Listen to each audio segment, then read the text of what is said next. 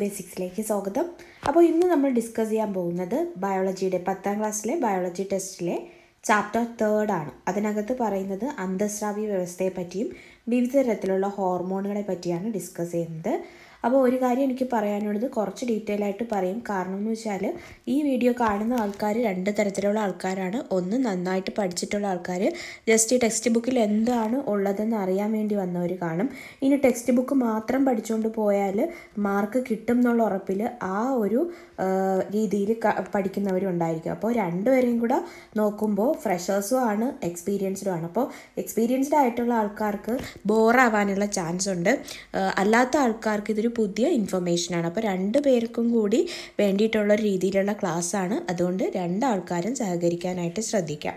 Okay അപ്പോൾ എല്ലാവർക്കും എന്റെ ഈ ക്ലാസ്സുകൾ ഇഷ്ടപ്പെടുന്നുണ്ടെങ്കിൽ നിങ്ങളുടെ ഫ്രണ്ട്സിന് മാക്സിമം ഷെയർ ചെയ്യുക. കൂടാതെ ഇതുവരെയും ചാനൽ സബ്സ്ക്രൈബ് ചെയ്യാത്തുണ്ടെങ്കിൽ തീർച്ചയായിട്ടും ചാനൽ സബ്സ്ക്രൈബ് ചെയ്യുക. വി ഒ എക്സാം കഴിഞ്ഞ ഉടൻ തന്നെ നമ്മുടെ K S L D C പോലുള്ള എക്സാമിന് വേണ്ടിയിട്ടുള്ള കോച്ചിങ് ആരംഭിക്കുന്നതായിരിക്കും. അതുപോലെ ഇംഗ്ലീഷിന്റെതും ഞങ്ങൾ നമ്മൾ പകുതി വഴിക്ക് ഉപേക്ഷിച്ചിട്ടിരിക്കുകയാണ് അപ്പോൾ ഇംഗ്ലീഷിന്റെ ഗ്രാമർ ബേസിക് ഗ്രാമർ മുതലുള്ള ക്ലാസ്സുകളും ഈ ഒരു ചാനലിൽ നിങ്ങൾക്ക് അവൈലബിൾ ആയിരിക്കും. നിങ്ങളുടെ ഫ്രണ്ട്സിനൂടെ നിങ്ങൾ ഈ ഇൻഫർമേഷൻ എത്തിക്കുക ഓക്കെ അപ്പോൾ നമ്മൾ സ്റ്റാർട്ട് ചെയ്യാൻ പോവാണ്. സ്തമസ്ഥിതിക്കായുള്ള രാസസന്ദേശങ്ങൾ എന്നാണ് ചാപ്റ്ററിന്റെ പേര്. അതായത് എന്താണ് അന്തസ്രാവി വ്യവസ്ഥ അഥവാ എൻഡോക്രൈൻ സിസ്റ്റം ശരീരത്തിലെ പ്രവർത്തനങ്ങൾ നിയന്ത്രിക്കുകയും ഏകോപിപ്പിക്കുകയും ചെയ്യുന്ന അവയവ വ്യവസ്ഥയാണ് അന്തസ്രാവി വ്യവസ്ഥ.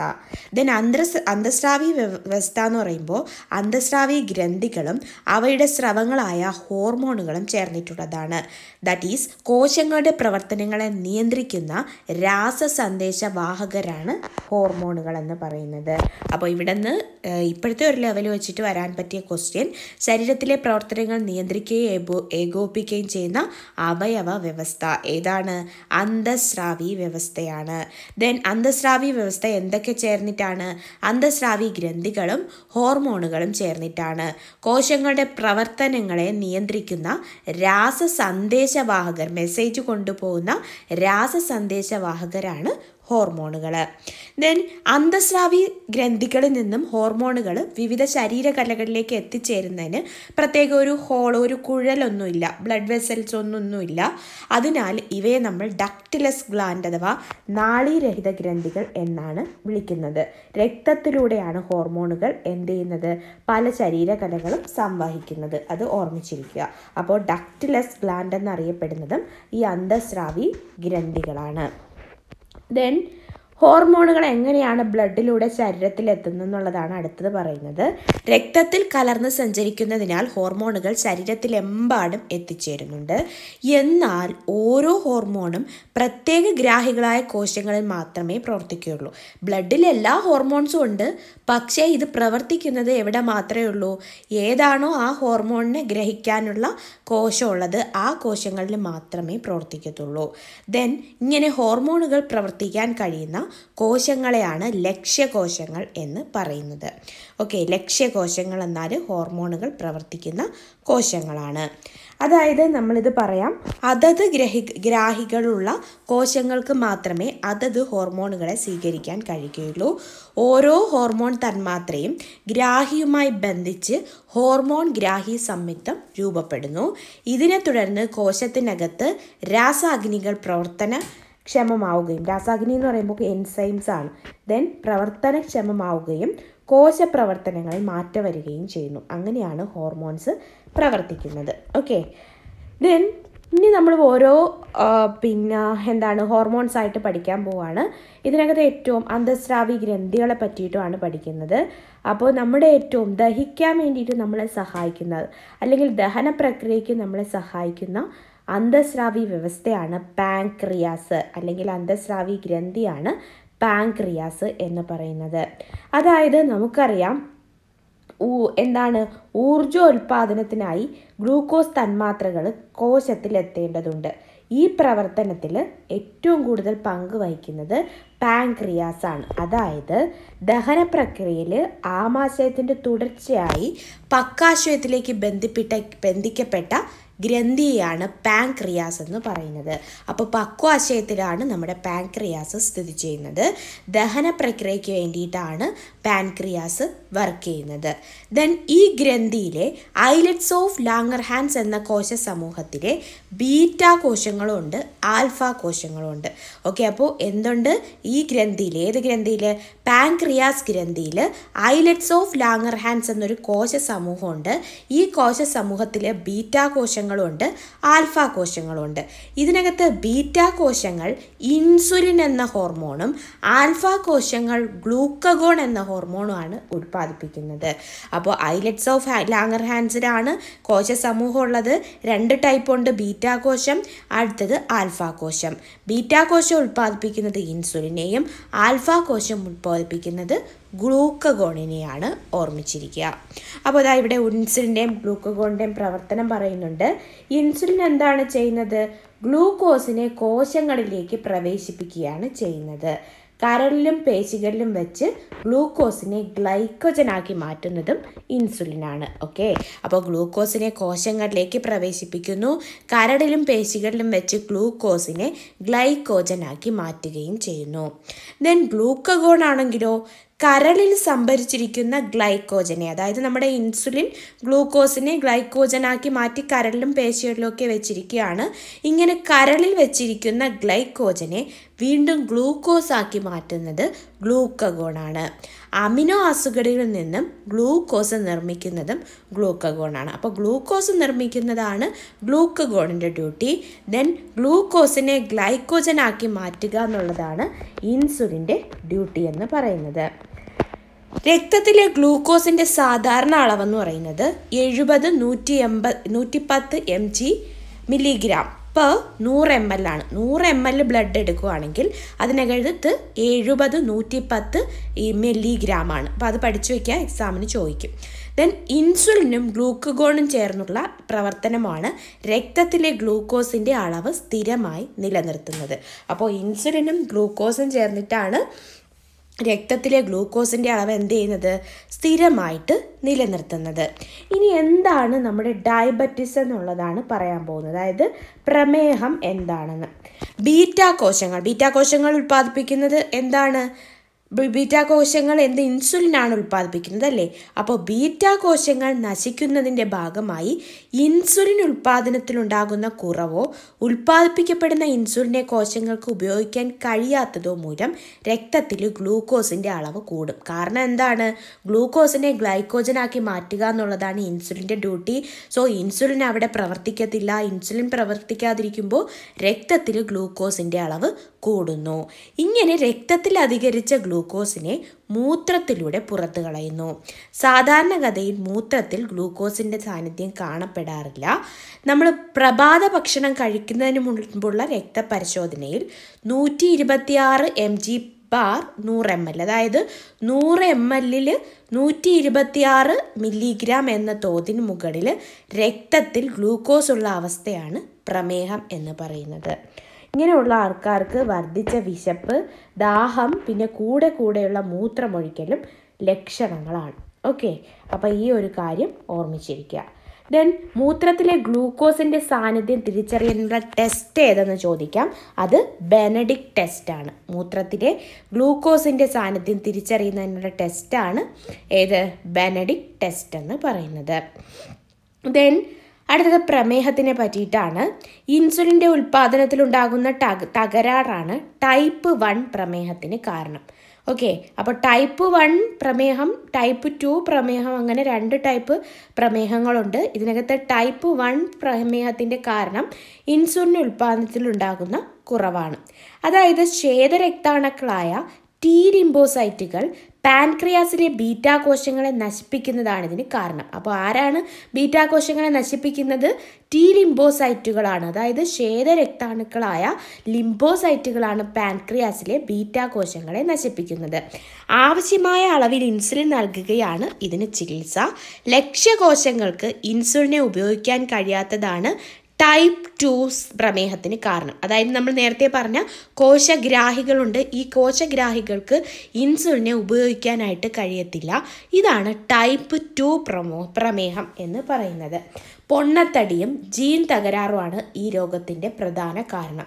വ്യായാമവും ആഹാര നിയന്ത്രണവും ആവശ്യമെങ്കിൽ മരുന്നുകളുടെ ഉപയോഗവും മൂലം രോഗാവസ്ഥ നമുക്ക് നിയന്ത്രിക്കാനായിട്ട് പറ്റും. ദെൻ ഡബ്ല്യു എച്ച് ഒ അഥവാ ലോകാരോഗ്യ സംഘടനയും ഇന്റർനാഷണൽ ഡയബറ്റിക് ഫെഡറേഷനും സംയുക്ത ആഭിമുഖ്യത്തിൽ എല്ലാ വർഷവും നവംബർ പതിനാല് ലോക പ്രമേഹ ദിനമായി ആചരിക്കുന്നു. വർദ്ധിച്ചു വരുന്ന പ്രമേഹ രോഗത്തിനെതിരെയുള്ള ബോധവൽക്കരണമാണിത് ഉദ്ദേശിക്കുന്നത്. നവംബർ പതിനാലിനാണ് ലോക പ്രേമ പ്രമേഹ ദിനം. ശിശുദിനവും നവംബർ പതിനാലിനാണ്. ദെൻ നീലവൃത്തമാണ് ഇതിന്റെ ലോകം. അപ്പോൾ നമ്മുടെ എന്താണ് നവംബർ പതിനാല് ലോക പ്രമേഹ ദിനത്തിന്റെ ലോഗോ എന്താണ്? നീലവൃത്തമാണ്. ബ്ലൂ സർക്കിളാണ് ഓർമ്മിച്ചിരിക്കുക. ദെൻ അടുത്ത ഹോർമോണിനെ പറ്റി പഠിക്കുകയാണ്. ഉപാപചയ നിയന്ത്രണത്തിന് സഹായിക്കുന്നതാണ്. അതായത് ശരീരത്തിൽ നടക്കുന്ന നിർമ്മാണ ശിഥിലീകരണ പ്രവർത്തനങ്ങളെ പൊതുവെ ഉപാപചയം എന്നാണ് വിളിക്കുന്നത്. ഉപാപചയ പ്രവർത്തനങ്ങളും ഹോർമോണുകളുടെ പ്രവർത്തനത്തിലാണ് നിയന്ത്രിക്കപ്പെടുന്നത്. ഉപാപചയ പ്രവർത്തനങ്ങളെ നിയന്ത്രിക്കുന്ന മുഖ്യ അന്തസ്രാവി ഗ്രന്ഥിയാണ് തൈറോയിഡ് ഗ്രന്ഥി. അപ്പോൾ ഉപാപചയ നിയന്ത്രണത്തെ സഹായിക്കുന്നത് തൈറോയിഡ് ഗ്രന്ഥി ദഹനത്തെ സഹായിക്കുന്നത് ഏതാണ്? പാൻക്രിയാസ് ഗ്രന്ഥിയാണ്. തൈറോയിഡ് ഗ്രന്ഥി ഉൽപ്പാദിപ്പിക്കുന്ന രണ്ട് ഹോർമോണുകളാണ് തൈറോക്സിനും കാൽസിറ്റോണിനും. ഏതൊക്കെയാണ്? തൈറോക്സിനും കാൽസിറ്റോണിനാണ്. തൈറോക്സിന്റെ ധർമ്മങ്ങൾ അല്ലെങ്കിൽ ഫങ്ഷൻസ് എന്താണെന്ന് ചോദിച്ചാൽ ഊർജോൽപാദനം വർദ്ധിപ്പിക്കുക ഉപാപചയ പ്രവർത്തനങ്ങളുടെ നിരക്ക് ഉയർത്തുക ഭ്രൂണാവസ്ഥയിലും ശൈശ ശൈശവാവസ്ഥയിലും മസ്തിഷ്ക വളർച്ചയും വികാസവും ത്വരിതപ്പെടുത്തുക കുട്ടികളിലെ ശരീര വളർച്ചയെ നിയന്ത്രിക്കുക. ഇതൊക്കെ തൈറോക്സിന്റെ ധർമ്മമാണ്. ഇനി തൈറോക്സിൻ നമ്മുടെ ശരീരത്തിൽ കൂടുകയും കുറയുകയും ചെയ്താൽ കൂടാനും പാടില്ല കുറയാനും പാടില്ല. എങ്കിൽ നമുക്കുണ്ടാകുന്ന അസുഖങ്ങളാണ് ഒന്ന് ഹൈപ്പോ തൈറോയിഡിസവും അടുത്തത് ഹൈപ്പർ തൈറോയിഡിസവും അപ്പോൾ ആദ്യം നമുക്ക് എന്താണ് ഹൈപ്പർ ഹൈപ്പോ തൈറോയിഡിസം എന്ന് പറയുന്നത്. ഹൈപ്പോ എന്ന് പറയുമ്പോൾ എന്താണ്? കുറയുന്ന അവസ്ഥയാണ് ഹൈപ്പോ അപ്പോൾ തൈറോക്സിന്റെ ഉൽപ്പാദനം കുറയുന്ന അവസ്ഥയാണ് ഹൈപ്പോ തൈറോയിഡിസം അതായത് ഭ്രൂണാവസ്ഥയിലോ ശൈശവാവസ്ഥയിലോ തൈറോക്സിന്റെ ഉൽപ്പാദന കുറവ് മൂലം ശരിയായ ശാരീരിക മാനസിക വളർച്ച തടസ്സപ്പെടും. ഈ അവസ്ഥയെ നമ്മൾ ക്രെട്ടിനിസം എന്നാണ് പറയുന്നത്. അപ്പോൾ കുട്ടികൾക്കുണ്ടാകുന്നത് ക്രെട്ടിനിസം. കാ കാ അല്ലേ? ക്രെട്ടനിസം കുട്ടികൾക്ക്. അപ്പോൾ എന്താണ്? കുട്ടിയായിരിക്കുന്ന സമയത്തോ അല്ലെങ്കിൽ ഭ്രൂണത്തിലായിരിക്കുന്ന സമയത്തോ തൈറോക്സിന്റെ ഉൽപ്പാദനം കുറയും അത് ശാരീരിക മാനസിക വളർച്ചയെ തടസ്സപ്പെടും. ഇതാണ് കുട്ടികൾക്കുണ്ടാകുന്ന ക്രെട്ടനിസം. ഇനി മുതിർന്നവരിലാണ് തൈറോക്സിന്റെ തുടർച്ചയായ കുറവുണ്ടാകുന്നതെങ്കിൽ മുതിർന്നവർക്കുണ്ടാകുന്നത് മിക്സ് അടിമയാണ് മിക്സ് അടിമ ഇങ്ങനെയുള്ള ആൾക്കാർക്ക് കുറഞ്ഞ അപാപചയ ഉപാപചയ നിരക്കായിരിക്കും മന്ദത വരും ശരീരഭാരം കൂടും ഉയർന്ന രക്തസമ്മർദ്ദം ഉണ്ടാവും ശരീരകലകളുടെ വീക്കം. ഇതൊക്കെയാണ് പ്രധാന ലക്ഷണങ്ങൾ അപ്പോൾ ഹൈപ്പോ തൈറോയിഡിസത്തിൽ വരുന്നതാണ് ക്രിട്ടനിസവും ദെൻ മിക്സഡിമയും ക്രിട്ടനിസം കുട്ടികൾക്കും മുതിർന്നവർക്ക് മിക്സഡിമയും ആണ് ഉണ്ടാകുന്നത്. അടുത്തത് ഹൈപ്പർ തൈറോയിഡിസം ദെൻ ഹൈപ്പറാണ് അപ്പോൾ ഉയർച്ചയാണല്ലേ?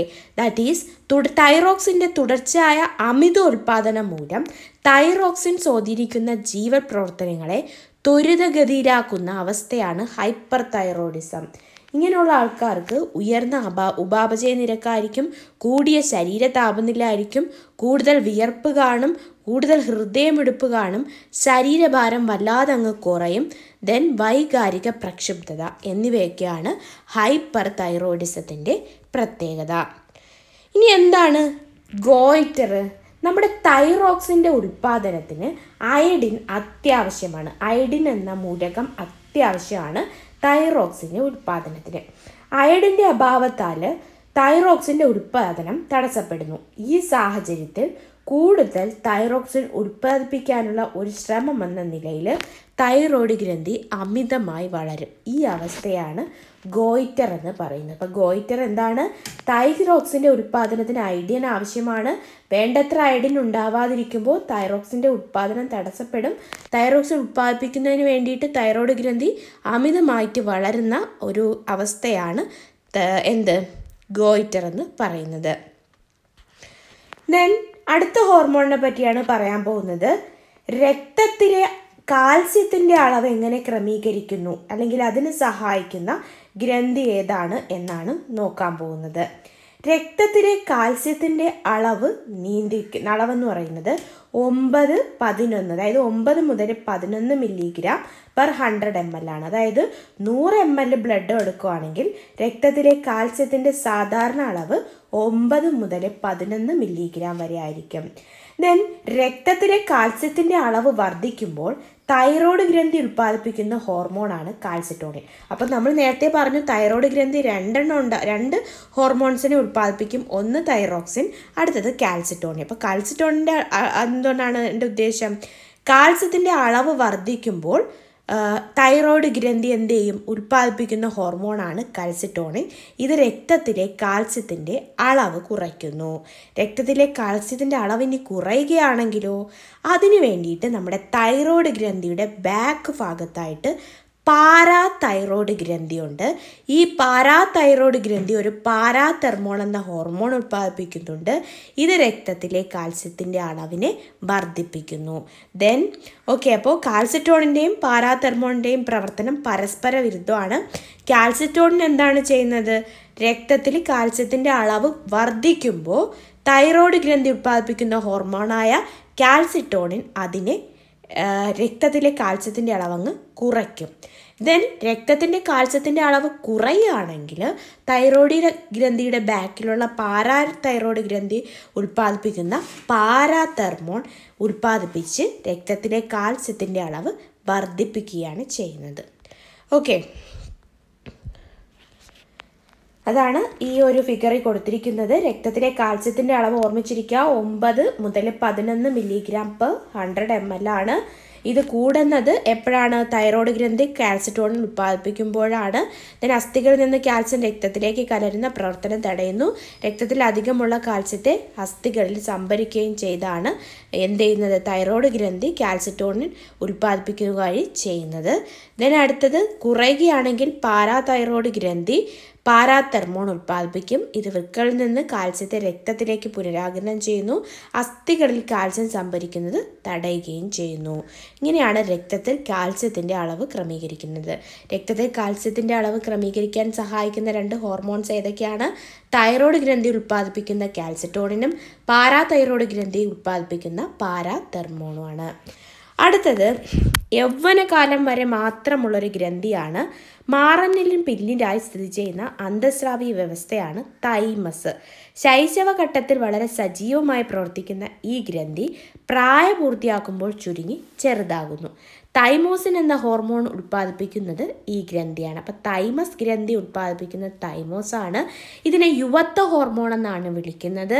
ശരീരത്തിൽ രോഗപ്രതിരോധ പ്രവർത്തനത്തെ സഹായിക്കുന്ന ടി ലിംബോസൈറ്റുകളുടെ പാകപ്പെടലിനെയും പ്രവർത്തനയും നിയന്ത്രിക്കുക എന്നതും ഈ ഹോർമോണിന്റെ പ്രധാന ധർമ്മമാണ്.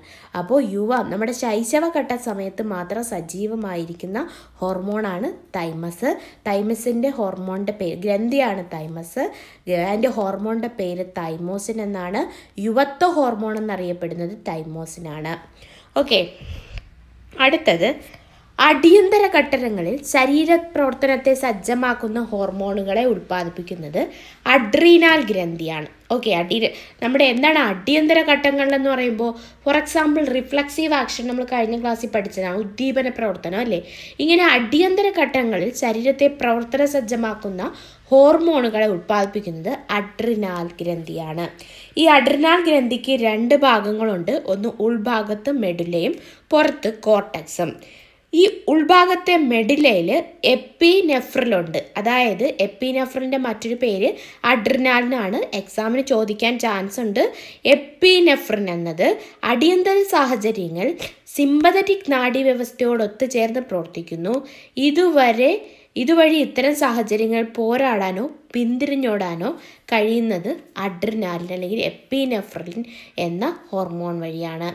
ഇനി നോർ എപ്രീനെഫ്രിൻ എന്താണെങ്കിലും നോർ അഡ്രിനാലിൻ എന്നത് എപ്പിനെഫ്രിനോടൊപ്പം ചേർന്ന് പ്രവർത്തിക്കുന്ന അടുത്ത ഹോർമോണാണ്.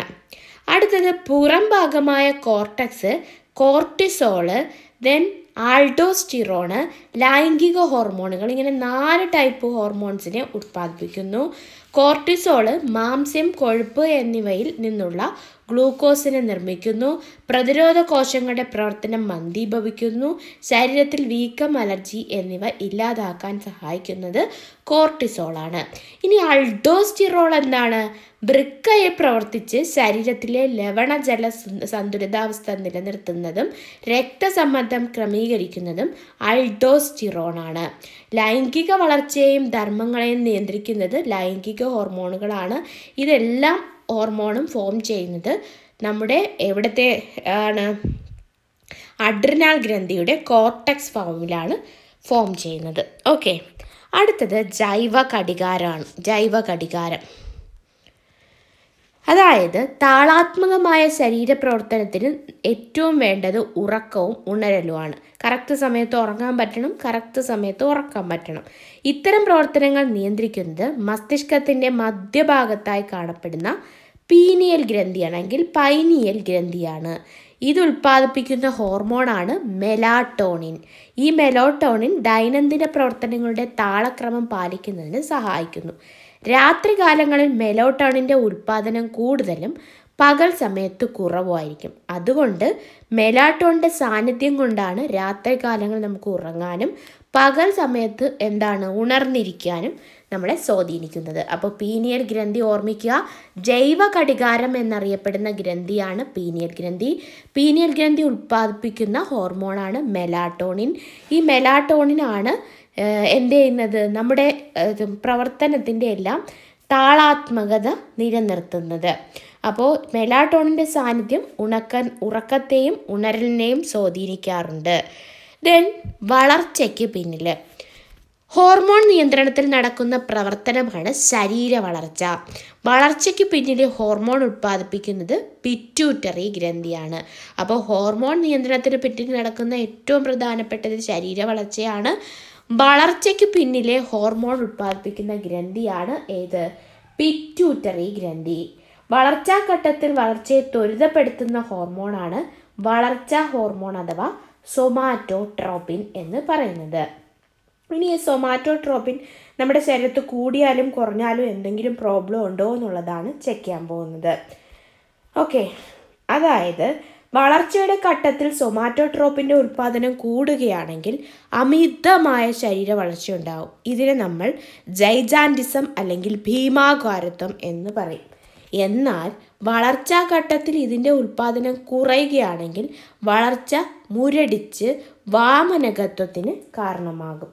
വാമനകത്വത്തിന്റെ ഫുൾ എന്താണ് ഇംഗ്ലീഷ് ഡോർഫിസോ ആണ്. ദെൻ വളർച്ചാ ഘട്ടത്തിന് ശേഷം സൊമാറ്റോട്രോപ്പിന്റെ അമിതമായ ഉൽപ്പന്നം ഉൽപ്പാദനം മൂലം മുഖം താടിയൽ വിരലുകൾ എന്നിവിടങ്ങളിലെ അസ്ഥികൾ വളരുന്ന സാഹചര്യം ഉണ്ടാകാം. ഇതാണ് അക്രോമെഗലി എന്ന് പറയുന്നത്. അക്രോമെഗലി. ഓക്കെ. അടുത്തത് പിറ്റ്യൂട്ടറി ഗ്രന്ഥിയുടെ മുൻതളം മറ്റ് അന്തസ്രാവി ഗ്രന്ഥികളുടെ പ്രവർത്തനത്തെ ഉത്തേജിപ്പിക്കുന്ന ഹോർമോണുകളെയും ഉൽപ്പാദിപ്പിക്കുന്നു. ഇവയാണ് ട്രോപ്പിക് ഹോർമോണുകൾ. അപ്പോൾ ട്രോപ്പിക് ഹോർമോണുകൾ ഉൽപ്പാദിപ്പിക്കുന്നത് ആരാണ്? പിറ്റ്യൂട്ടറി ഗ്രന്ഥിയാണ്. അപ്പോൾ ഈ പിറ്റ്യൂട്ടറി ഗ്രന്ഥി ഉൽപ്പാദിപ്പിക്കുന്ന ഹോർമോണുകളാണ് നമ്മൾ ഇനി ഡിസ്കസ് ചെയ്യാൻ പോകുന്നത്. പിറ്റ്യൂട്ടറി ഗ്രന്ഥികളും മുൻതളം ഉൽപ്പാദിപ്പിക്കുന്ന ഹോർമോണുകളാണ് ഒന്നാമത്തത് തൈറോയിഡ് സ്റ്റിമുലേറ്റിംഗ് ഹോർമോൺ. എന്താണ്? തൈറോയ്ഡ് ഗ്രന്ഥിയുടെ പ്രവർത്തനത്തെ ഉത്തേജിപ്പിക്കുന്നതാണ് തൈറോയിഡ് സ്റ്റിമുലേറ്റിംഗ് ഹോർമോൺ. അടുത്തത് അഡ്രിനാൽ കോർട്ടിക്കോ ട്രോപ്പിക് ഹോർമോണിനെ അഡ്രിനോ കോർട്ടിക്കോ ട്രോപ്പിക് ഹോർമോണിനെ എന്റെ ധർമ്മം അഡ്രിനാൽ ഗ്രന്ഥിയുടെ കോർട്ടക്സിന്റെ പ്രവർത്തനത്തെ ഉത്തേജിപ്പിക്കുകയാണ്. കോർട്ടിക്കോ എന്ന് പറയുമ്പോൾ തന്നെ ഓർമ്മിച്ചിരിക്കുക. അടുത്തത് ഗൊണാഡോട്രോപ്പിക് ഹോർമോൺ. പുരുഷന്മാരിൽ വൃഷണങ്ങളുടെ പ്രവർത്തനം സ്ത്രീകളിൽ അണ്ടാശയങ്ങളുടെ പ്രവർത്തനം എന്നിവ ഉത്തേജിപ്പിക്കുന്നത് ഗൊണാഡോ ട്രോപ്പിക് ഹോർമോണാണ്. അടുത്തത് ശരീര വളർച്ചയെ ത്വരിതപ്പെടുത്തുന്ന വളർച്ചാ ഹോർമോണാണ് സൊമാറ്റോട്രോപ്പിനാണ്. മൂ മുലപ്പാൽ ഉൽപ്പാദിപ്പിക്കുന്നത് പ്രോലാക്റ്റിൻ എന്ന ഹോർമോണാണ്. ഇതെല്ലാം ഓർമ്മിച്ചിരിക്കുക. ദെൻ പിറ്റ്യൂട്ടി ഗ്രന്ഥിയുടെ പിന്തളത്തിൽ നിന്ന് സ്രവിക്കുന്നതാണ് ഓക്സിറ്റോസിനും വാസോപ്രസിനും. ഓക്കെ ഈ വാസോപ്രസിനും ഓക്സിറ്റോസിനും ഹോർമോണുകൾ ഹൈപ്പോ തലാമസിലെ പ്രത്യേക നാഡീകോശങ്ങളാണ് ഉൽപ്പാദിപ്പിക്കുന്നത്. അപ്പോൾ ഹൈപ്പോ തലാമസ് ഉൽപ്പാദിപ്പിക്കുന്നതാണ് എന്തെന്ന് പറയുന്നത്? ഈ ഓക്സിറ്റോസിൻ ഓക്സി എന്നീ എവിടെയാണ്? ഹൈപ്പോ തലാമസിലാണ് ഉൽപ്പാദിപ്പിക്കപ്പെടുന്നത് ഓക്സിറ്റോസിനും വാസോ പ്രസിനും ദെൻ ഈ ഹോർമോണുകളെ പിറ്റ്യൂട്ടറി ഗ്രന്ഥി പിന്തളത്തിൽ സംഭരിച്ചു വെക്കുകയും ആവശ്യാനുസരണം രക്തത്തിൽ കലർത്തുകയും ചെയ്യുകയാണ് ചെയ്യുന്നത്. ഓക്കെ അപ്പോൾ ഓക്സിറ്റോസിൻ ഗർഭാശയഭിത്തിയിലെ മിനുസപേശികളെ സങ്കോചിപ്പിച്ച് പ്രസവം സുഗമമാക്കും മുലപ്പാൽ ചുരുത്താൻ സഹായിക്കുന്നതും ഓക്സിറ്റോസിനാണ്. അടുത്തത് വൃക്കയിൽ ജലത്തിന്റെ പുനരാകിരണത്തിന് സഹായിക്കുന്നത് വാസോപ്രസിൻ അഥവാ ആന്റി ഡയൂററ്റിക് ഹോർമോണാണ്. വാസോപ്രസിൻ അഥവാ ആന്റി ഡയൂററ്റിക് ഹോർമോണാണ്. ദെൻ വൃക്കയിൽ ജലത്തിന്റെ പുനരാകിരണത്തിലൂടെ വാസോപ്രസിൻ ശരീരത്തിലെ ജലത്തിന്റെ അളവ് ക്രമീകരിക്കുന്നു. അപ്പോൾ ശരീരത്തിലെ ജലത്തിന്റെ അളവ് ക്രമീകരിക്കാൻ സഹായിക്കുന്ന ഏത് ഹോർമോണാണെന്ന് ചോദിക്കാം. അത് ബാസോപ്രസിനാണ് അപ്പോൾ ഈ ഫിഗർ കാണുമ്പോൾ മനസ്സിലാവും എന്താണ് രക്തത്തിൽ ജലത്തിന്റെ സാധാരണ അളവ് കൂടുമ്പോൾ വാസോപ്രസിന്റെ ഉൽപ്പാദനം സോറി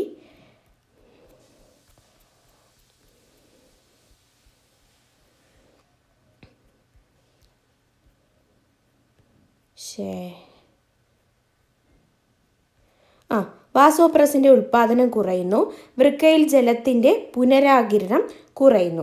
ദെൻ മൂത്രത്തിലെ അളവ് എന്ത് ചെയ്യുന്നു? കൂടുകയും ചെയ്യുന്നു. ഇനി രക്തത്തിലെ ജലത്തിന്റെ സാധാരണ അളവ് കൂടുകയാണെങ്കിലോ അവിടെ നമ്മൾ കുറയുകയാണെങ്കിൽ വാസോപ്രസിന്റെ ഉൽപ്പാദനം കൂടും. വൃക്കയിൽ ജലത്തിന്റെ പുനരാകിരണം കൂടുന്നു. മൂത്രത്തിന്റെ അളവ് കുറയുകയും ചെയ്യുന്നു. ഓർമ്മിച്ചിരുന്നാൽ മതി ഇതൊക്കെ. ദെൻ വേനൽക്കാലത്ത് വിയർപ്പിലൂടെയും മറ്റും ശരീരത്തിൽ നിന്ന് ജലനഷ്ടം ഉണ്ടാകുന്നതിനാൽ വാസോപ്രസിന്റെ ഉൽപ്പാദനം കൂടുതലായിരിക്കും. എന്നാൽ മഴക്കാലത്ത് തണുപ്പുകാലത്തും ഇതിന്റെ ഉൽപ്പാദനം കുറവായിരിക്കും. കാരണം എന്താണ്? ജലനഷ്ടം ഉണ്ടാകുന്നത് മൂത്രം വഴിയായിരിക്കും ഉണ്ടാകുന്നത്. ഓക്കെ അപ്പോൾ വാസോപ്രസിൻ ജല ജലം ജലത്തിന്റെ അളവ് ക്രമീകരിക്കാനാണ് വാസോപ്രസിൻ എന്ന ഹോർമോൺ ഉപയോഗിക്കുന്നത്. അപ്പോൾ വാസോപ്രസിൻ ഉൽപ്പാദനം കുറയുമ്പോൾ വൃക്കയിൽ ജലത്തിന്റെ പുനരാകിരണം കുറയുകയും കൂടിയ അളവിൽ മൂത്രം പുറന്തള്ളപ്പെടുകയും ചെയ്യുന്നു.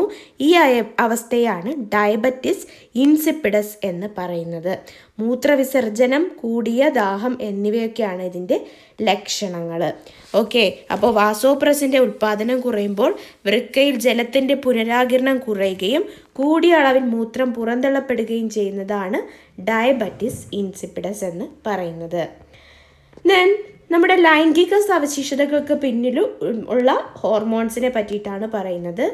വൃഷണം അതായത് പുരുഷ ഹോർമോൺ എന്ന് പറയുന്നത് ടെസ്റ്റോസ്റ്റിറോൺ ആണ്. അതായത് ദ്വിതീയ ലൈംഗിക സവിശേഷതകളുള്ള ബീ ശബ്ദമാറ്റം രോമ വളർച്ച ലൈംഗിക അവയവ വളർച്ച ബീജോൽപാദനം എന്നിവയുടെ നിയന്ത്രണം നടത്തുന്നത് ടെസ്റ്റോസ്റ്റിറോണാണ്. ഇനി ഈസ്ട്രോജൻ ആണെങ്കിൽ ദ്വിതീയ ലൈംഗിക സവിശേഷതകളാണ് ഉള്ളത്. അണ്ടോൽപാദനം ആർത്തവ ചക്രം എന്നിവയുടെ നിയന്ത്രണം നടത്തുന്നത് അണ്ടാശയം ഉൽപ്പാദിപ്പിക്കുന്ന ഈസ്ട്രോജനാണ്. ഇനി അണ്ടോൽപാദനം ആർത്തവ ചക്രം ഭ്രൂണത്തെ ഗർഭാശയത്തിൽ നിലനിർത്തൽ എന്നിവയുടെ നിയന്ത്രണമൊക്കെ പ്രൊ പ്രൊജസ്റ്റോറിനോ പ്രൊജസ്ട്രോണിന് ഉള്ളതാണ് ഓർമ്മിച്ചിരിക്കുക ഓക്കെ. ഇനി മുഖ്യ നിയന്ത്രകൻ എന്നറിയപ്പെടുന്നത് ഹൈപ്പോ തലാമസ് ആണ്. അതായത് നമ്മുടെ മസ്തിഷ്ക ഭാഗമായ ഹൈപ്പോ തലാമസ് ഒരു അന്തസ്രാവി ഗ്രന്ഥി കൂടിയാണ്. ഇത് പിറ്റ്യൂട്ടറി ഗ്രന്ഥിയെയും അതുവഴി മറ്റ് അന്തസ്രാവി ഗ്രന്ഥിയെയും ഗ്രന്ഥികളെയും നിയന്ത്രിക്കുകയാണ് ചെയ്യുന്നത്. അതായത് ഇവിടെ ഹൈപ്പോ തലാമസ് റിലീസിങ് എന്ന ഹോർമോൺസ് ആണ്. ഇത് പിറ്റ്യൂട്ടറി ഗ്രന്ഥിയുടെ മുൻതളം ഉത്തേജിക്കപ്പെട്ടിട്ട് ട്രോപ്പിക് ഹോർമോണുകളെ ഉൽപ്പാദിപ്പിക്കപ്പെടുന്നു. അതാണ് T S H A C T H G at H ഒക്കെ. ദെൻ ഇൻഹിബിറ്ററി ഹോർമോണുകളെ ഉണ്ടാക്കുന്നു. ഇത് പിന്നെ എന്താണ്?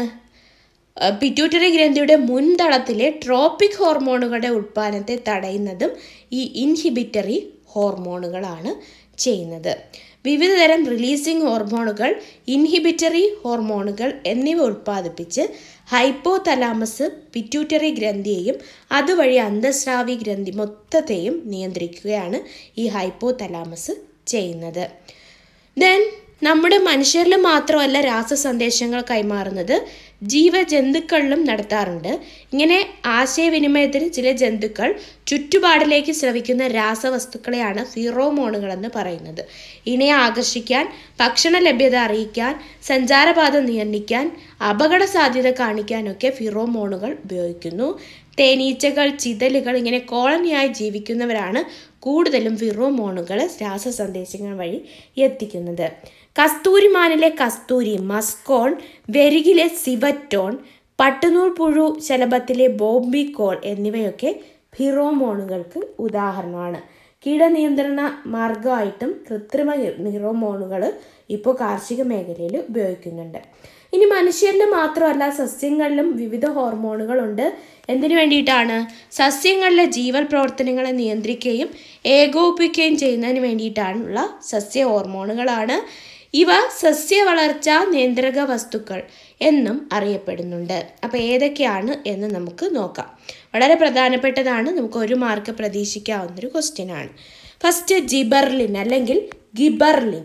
അതായത് സമ്പ്രദാഹാരത്തെ വിഘടിപ്പിച്ച് വിത്തു മുളയ്ക്കാൻ സഹായിക്കുന്നു ഇല വിരിയലിനും സഹായിക്കുന്നു. വിത്ത് മുളയ്ക്കാനും വിത്ത് മുളച്ചിട്ടാണ് എന്തുണ്ടാകുന്നത്? ഇല ഉണ്ടാകുന്നത്. അപ്പോൾ വിത്ത് മുളയ്ക്കാൻ സഹായിക്കുന്നതും ഇല വിരിയാൻ സഹായിക്കുന്നതും ഏതാണ്? ഗിബർലിനാണ്.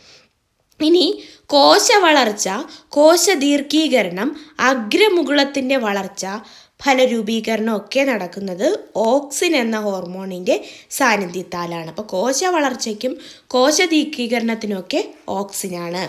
അടുത്തത് കോശ വിഭജനം കോശ വൈവിധ്യവൽക്കരണത്തിനൊക്കെ യൂസ് ചെയ്യുന്നത് സൈറ്റോകിനിനാണ് സൈറ്റോകിനിൻ അടുത്തത് ഭ്രൂണത്തിന്റെ സുപ്താവസ്ഥ പാകമായ ഇലകൾ കായ്ക്കൽ എന്നിവ പൊഴിയൽ കായ്കൾ എന്നിവ പൊഴിയലൊക്കെ എന്താണ്? അപ്സസിക് ആസിഡാണ്. അപ്പോൾ പാകമായ ഇലകളും കായ്കളും പൊഴിയുന്നത് ഏതിന്റെ സാന്നിധ്യം കൊണ്ടാണ്? അപ്സസിക് ആസിഡിന്റെ സാന്നിധ്യം കൊണ്ടാണ്. ദെൻ ഇലകളും ഫലങ്ങളും പാചകമാകാൻ കൂടിയ അളവിലായാൽ ഇലകളും പഴങ്ങളും പൊഴിയുന്നതും അതായത് പാകമാകാനും കൂടിയ അളവിലായാൽ ഇലകൾ പഴങ്ങൾ ഇലകളും പഴങ്ങളും പൊഴിയാനും എത്തിലിൻ എന്ന ഹോർമോണാണ് സഹായിക്കുന്നത്. ഇത് വാതക രൂപത്തിലുള്ള ഹോർമോൺ ഏതെന്ന് ചോദിച്ചാലും അത് എത്തിലിനാണ്. അടുത്തത് കൃത്രിമ സസ്യ ഹോർമോണുകൾ. ഇനി കൃത്രിമമായിട്ടും ഹോർമോണുകൾ ഉൽപ്പാദിപ്പിക്കപ്പെടുന്നു. ഓക്സിജനുകൾ ഉൽപ്പാദിപ്പിക്കുന്നു ഫലങ്ങൾ അകാലത്തിൽ പൊഴിയുന്നത് തടയുന്നു വേര് മുളപ്പിക്കുന്നു കളകളെ നശിപ്പിക്കാനൊക്കെ ഓക്സിനാണ് ഉപയോഗിക്കുന്നത്. ജിബർലിനുകളാണ് മുന്തിരി ആപ്പിൾ മുതലായ ഫലങ്ങളുടെ വലിപ്പം വർദ്ധിപ്പിക്കുന്നതിനും മാർക്കറ്റിംഗ് സൗകര്യത്തിനായി ഫലങ്ങൾ പഴുക്കുന്നത് തടയുന്നതും ഗിബർലിനുകളാണ്. അടുത്തത് എത്തിലിൻ.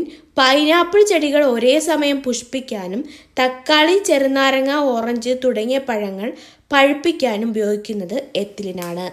എത്തിഫോൺ എന്ന പേരിൽ ദ്രാവക രൂപത്തിൽ ലഭിക്കുന്ന പദാർത്ഥം റബ്ബർ മരങ്ങളിൽ ഉപയോഗിക്കുമ്പോൾ എത്തിലിനായി മാറി റബ്ബർ പാൽ ഉൽപാദനം വർദ്ധിപ്പിക്കുന്നു. പഴവർഗ സസ്യങ്ങളിൽ ഒരേ സമയത്ത് വിളവെടുപ്പെടുക്കുന്നതിന് വേണ്ടിയിട്ടാണ് അബ്സസിക് ആസിഡ് യൂസ് ചെയ്യുന്നത്. ദെൻ ഫലങ്ങളിൽ വിത്തില്ലാതാക്കുന്നതും ഹോർമോണുകളാണ്.